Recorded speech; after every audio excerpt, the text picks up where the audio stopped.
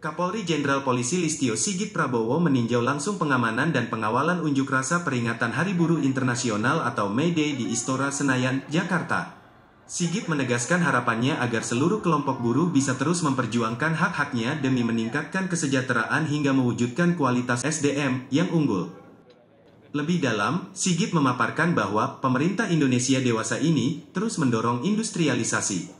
Sehingga, terbukanya lapangan pekerjaan baru sebanyak 1,4 juta sepanjang tahun 2022. Tak hanya itu, Sigit juga menyampaikan apresiasi dan terima kasih kepada seluruh elemen buruh di tanah air, lantaran terus berada di garis terdepan sebagai penjaga tulang punggung perekonomian bangsa Indonesia.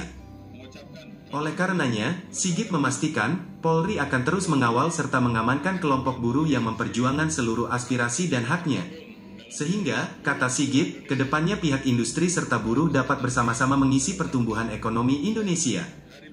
Di sisi lain, Sigit menyebut bahwa seluruh pelaksanaan unjuk rasa peringatan May Day di 116 titik Indonesia telah berjalan aman dan kondusif. Ia pun menyampaikan apresiasi kepada seluruh kelompok buruh dan personel kepolisian yang telah bekerja sama dengan baik untuk menciptakan situasi keamanan dan ketertiban yang aman juga damai.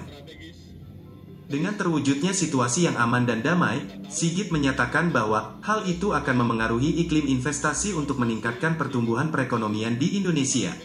Kesempatan yang sama, Presiden KSPI Said Iqbal menyampaikan apresiasi kepada Kapolri Jenderal Listio Sigit Prabowo beserta seluruh jajaran yang telah memberikan pengamanan secara optimal dan humanis kepada seluruh elemen buruh ketika menyampaikan aspirasinya.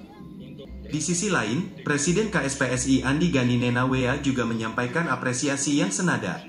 Menurutnya, berkat adanya pengawalan dan pengamanan yang diberikan Polri, penyampaikan aspirasi kelompok buruh dapat berjalan dengan kondusif. Tim Liputan Tribrata TV melaporkan.